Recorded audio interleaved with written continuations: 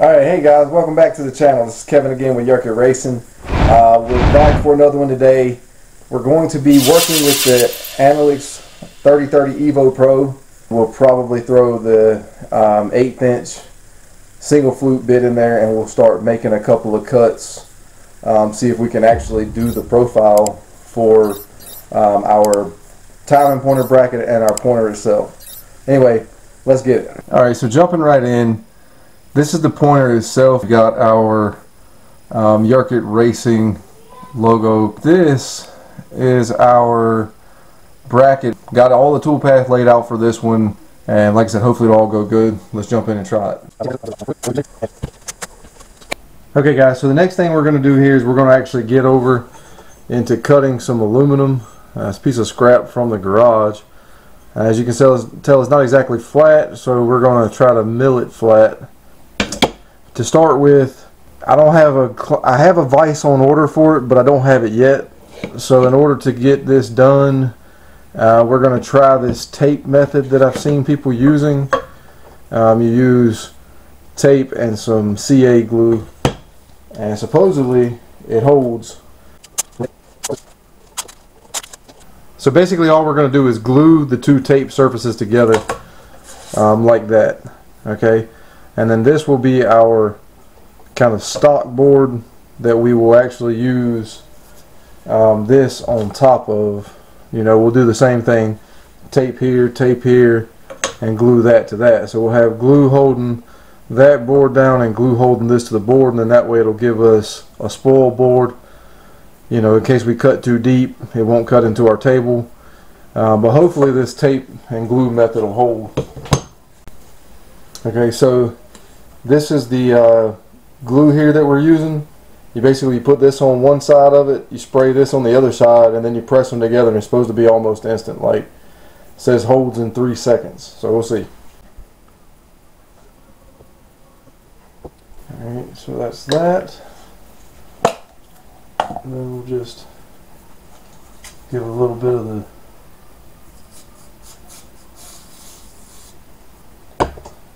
spray there for the activator.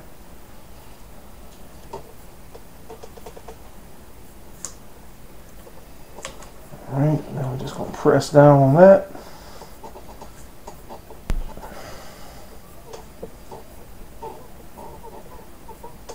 And it seems so far so good anyway, put it that way. Okay, so our next thing is going, shit, look what I did. Yeah, well, if you're paying attention, you can see what I did here. I was supposed to put the daggone stuff on the on this tape. I put it on the board instead by accident. So anyway, it'll it'll come up. I'll just have to get it up off the bottom. It probably is never that tape's never coming off of that board though. All right, so we have our aluminum. Just gonna rub it in, get everything nice and tacked up. Another thing is this is like the extra hold uh, painter's tape. It's kind of heavy duty stuff. Got uh, made for rough surfaces. It's got a lot of holding force uh, compared to a lot of it. So I do think that that will probably aid in holding the workpiece like we need it to. Um, so again, we're just going to kind of apply this like that. Spray this like that. And then when we turn this over, essentially there, and press hold for three seconds and is locked in place. Okay. So we'll see how well that actually ends up holding.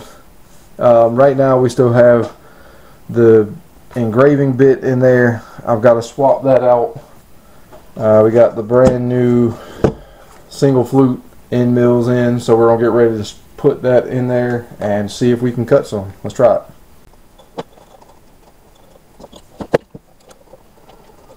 Alright. Okay, so we got the correct end mill in now. Let's get ready to see if we can set this thing up. Okay, so we have our uh, tool path and everything loaded in the candle and we're getting ready to try to make a pass on it. Okay, so that looks pretty good on the left on the uh, X and Y axis. So we're going to zero that there. We're going to bring Z up. And I'm going to go over here to this part where it's a little thicker. Alright, we'll zero that right there for our Z axis. And then we are going to start running. Fingers crossed, this works like it's supposed to.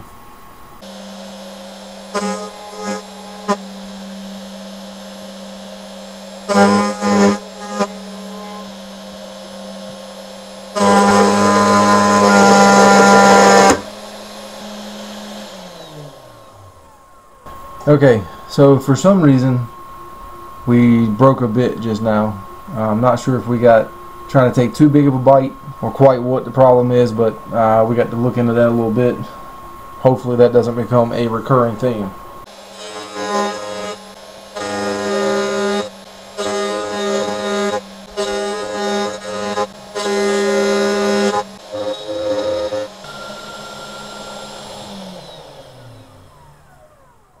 We cut the high sections down last night on our stock metal. We're getting ready to try to make a cut on the actual part now. Um, we're going to be cutting this here. I've already got it transferred over here to this computer. This will be the one that we're actually using to run it so I can still have the other computer operational. Uh, hoping we got everything set up the way we need it and we should al already have our coordinates in for home and everything so we're just gonna hit send and see if we can get started here.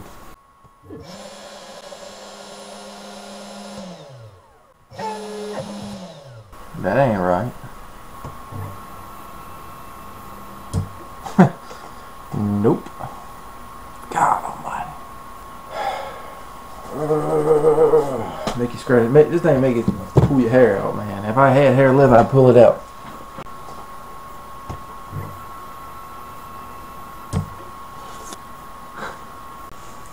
Alright, so I just went through about two hours of trying to figure out what the problem was. I think I have possibly figured it out.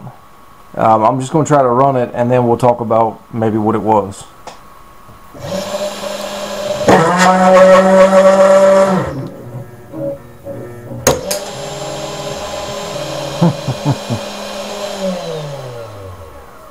well, that sucks. As you can see, that did not go according to plan at all. Alright guys, so we fixed one problem, created another one, um, definitely solved the issue of the spindle going all the way to the top and limiting out on the z-axis. Now we've got another problem where I can only assume that it's the depth of cut is too much. Um, so we got to go in, try to play with that, hopefully figure out a solution because that one did not work and it didn't work in a hurry. Alright, so now, hypothetically, I should just be able to send it.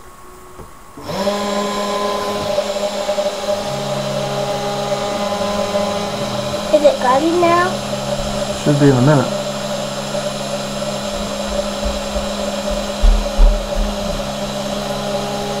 Is that the same yesterday?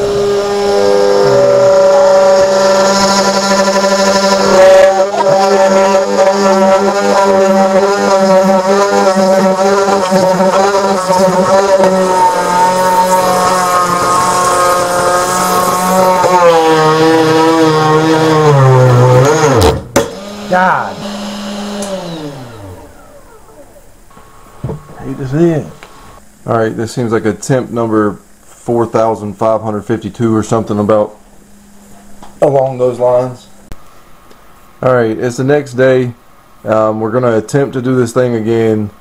Having a lot of issues with breaking bits right now. Really just trying to figure out the speeds and feeds and what types of tool paths to be using. Steep learning curve, I must say that. Um, very very in like a whole lot of uh, variables at play that are making this a you know kind of hard to just pick up on if you don't have anybody really to help you figure it out. Um, anyway, but we're gonna keep at it. I think we can get it. It's just a matter of trying to figure out the perfect combination for the machine. Um, I do know that AnoleX has a upgrade kit to put it to a uh, 1.5 kilowatt spindle that'll do 24,000 RPMs. This one is a uh, 300 watt 10,000 RPM spindle. Looking at some speed and feed charts on the eighth inch bits here, uh, looks like for optimal chip load and everything, we would really need to be able to run a single flute, which is what style end mill we're running. Um, looks like we would need to be able to run that probably in the um, closer to 20,000 RPM range to really be able to get the optimal load for it. So I don't know if that's part of the issue or what. Um, so in order to counteract our lack of spindle speed, I'm going to take a shallower cut, uh, basically cutting it in half from 20 thousandths of an inch each pass, step down to 10,000 uh, 10 thousandths of an inch. So that's what we've done now. I also, if you see over here on this side, I changed it from where we had an outer perimeter of our holes and trying to cut a basically a tunnel or um, a little a little um, contour path. I've changed it over to a pocket style where it's just going to mill the whole pocket out of it. I'm hoping, um, I think the last time it seemed to actually be cutting decent, but we ended up having um, the bit I actually think got bound up in there, which I mean I need to do a better job of having you know some air, or something that we can blow out this. Uh, I'm gonna get all that set up. I'm probably gonna end up putting a nozzle on it, you know, just to blow the chips away. Or either I know they they also make um, you can 3D print or probably even buy one from somewhere, but they have the fans that slide up on the collet nut. So options there. We need to get the chips evacuated. I know because right now a lot of them are wanting to just fall back in the slot, and that's probably bind. Last time I think it probably would have cut it, but it was binding up um, because of that. Like I, it started out doing pretty good up at the top side of it. So anyway, that's where we're at. I'm gonna go ahead and attempt again. This time 10 thousandths on a pocket cut, and hopefully this thing will actually cut it. Let's try it.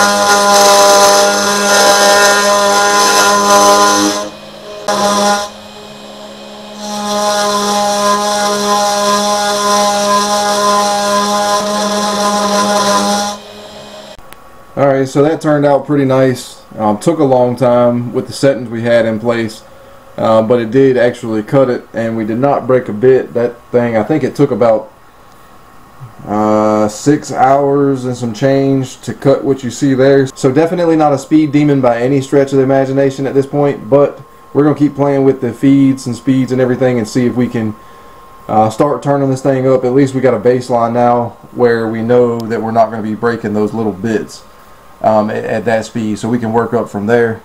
Uh, we're getting ready now to jump back over. We're going to open up the next file. Should be our step two and it's going to be the outer perimeter cut. Uh, so we're going to go ahead and send that to the machine and we'll get started. Alright guys, I really hope you're enjoying the video. Just want to take a second to invite you over to Yerkit Racing Spread Shop where you can find all sorts of merchandise. You name it, it's probably in there. So go over, find you something you like. Every order you place on this site is greatly appreciated.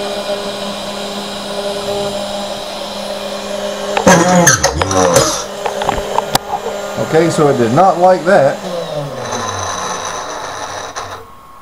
Uh, hopefully that's all it was, was I didn't zero it out.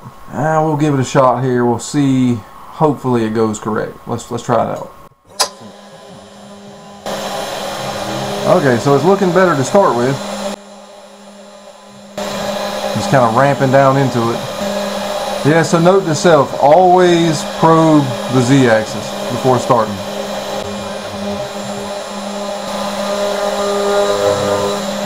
Alright, got our first touchdown over there. Seemed to cut pretty smooth. Alright, so it's just working down to the part now. Um, barely getting any cuts so far, but what it has cut, it seems to be doing pretty smooth. Uh, last time for all the inside stuff, we ran it at one uh, 0.1 millimeter step over and a 0.1 millimeter step down. This time um, I sped it up to 0.15 millimeter step over and step down. So hopefully it'll still cut as smooth and we won't run into any issues with the tool wanting to break. Uh, we'll kind of see how that goes in a minute.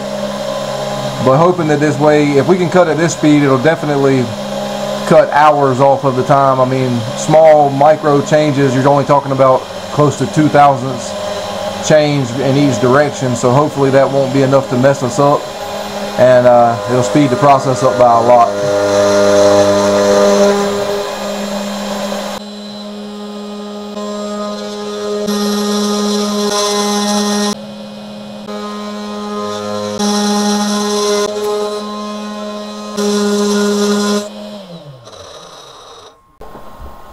Alright, so we got through down here in this little spot, um, but not quite through on the rest of the pass. You can see it's starting to break, and it may be enough on the edges to have broke through um, to where it'll actually separate.